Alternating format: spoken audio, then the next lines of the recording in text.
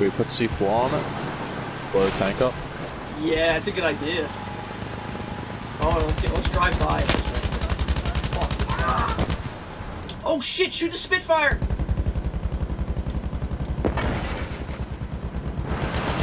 Vehicle Yeah, destroyed. you fucking whore!